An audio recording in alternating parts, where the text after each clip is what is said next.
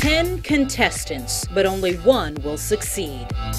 She is the one that will stand out from the rest, epitomizes beauty with a purpose, and possesses the poise and confidence needed to represent Guam on a global stage.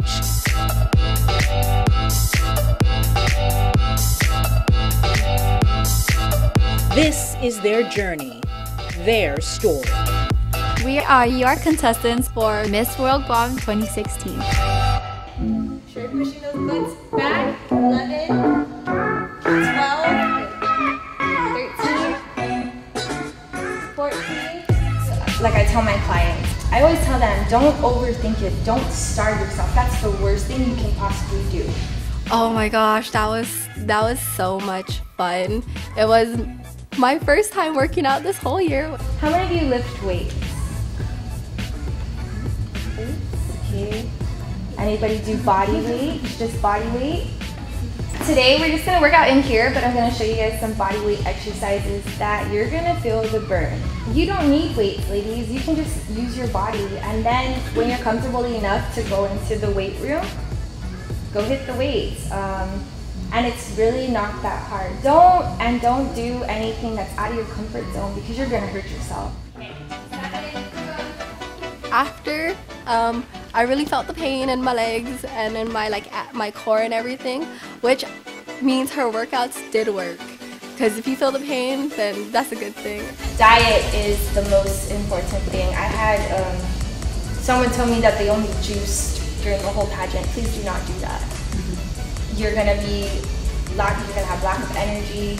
Tiara did give so many great tips about fitness and diet that we can't we can only that we can apply not just to this pageant but also to our daily lives. Ready and down. One, good. Two, three, good. Four, throw that butt out. Five, good. Six, seven, eight, get lower if you can. Good. Nine, ten.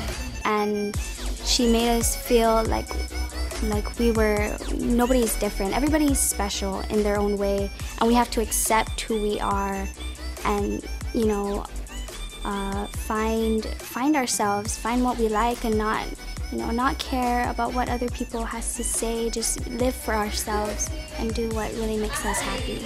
I thought it was really helpful, especially like health tips, because um, I really need to work on trying to be healthy and be more motivated and more confident with myself no matter what.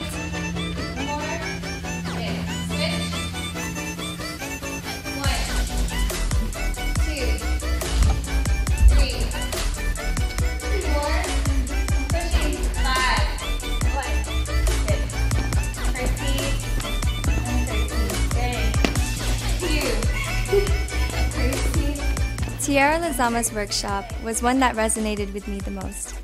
She gave a lot of tips on fitness, your diet, and workout routines that I still use to this day. Uh, she also gave a lot of tips on confidence building that was very insightful.